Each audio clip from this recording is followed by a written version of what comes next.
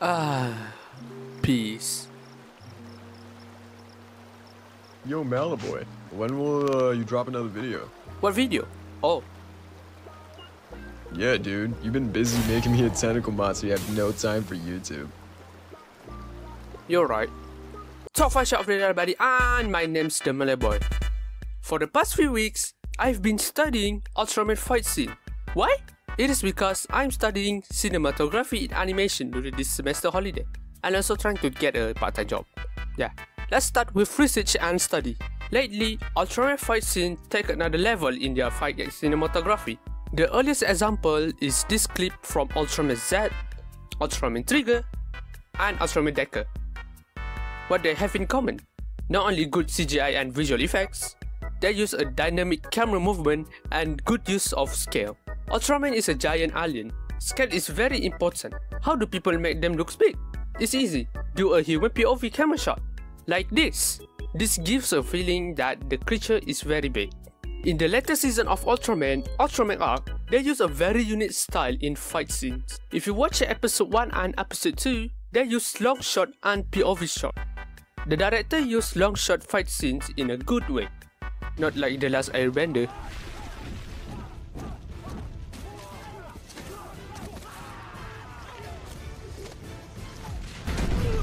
What about POV shot?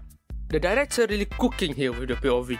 They really show us how the giants fight through their perspective. I want to turn this into animation. I use two softwares for this step. Blender for animation, texturing, lighting, and etc. Autodesk Maya for modeling. Dude, why don't you just use Blender for modeling? It is because Maya is industry standard. I want to work in the industry. Since Maya tutorials in YouTube is limited and hard, that's why I use Blender for other things else. Let's go for the modeling. For the kaiju, I use this blocky character for easy modeling of course. Then I model this ripoff Ultraman. I made this character before, but yeah, this is bullshit. I glad I bring this character for one of my university final projects. The name is Chadroman Hydronose. To the blender! I use Toon Shader for these characters using this tutorial. The outline is in this tutorial. I add the armature, bones, and we can start animate. How about the backgrounds? Ultraman and also Godzilla have their own miniature sets. I just download a 3D model on Sketchfab. I don't want to study architecture. It's so fucking lag! At this moment, I'm so pissed off with the lag. Should I abandon this project? I'm a workaholic person. I am unable to abandon this project. My laptop is burning at this point. What should I do? I asked my senior for a solution. You know what he said?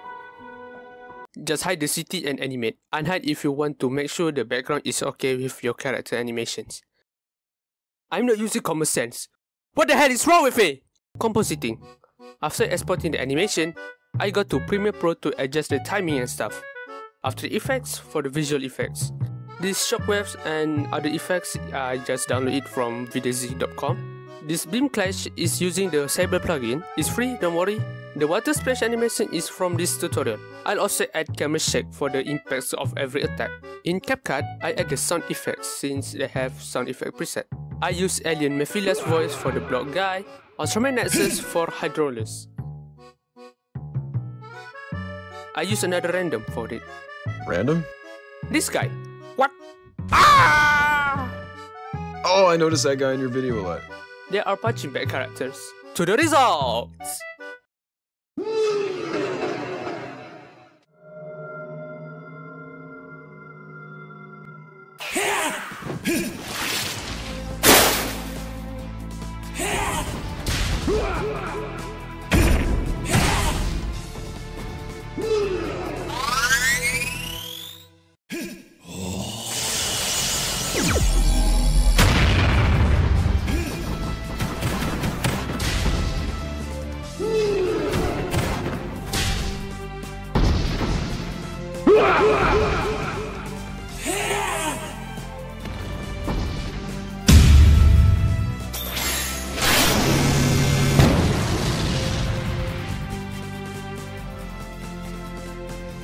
What can I say about this result is I'm proud with it.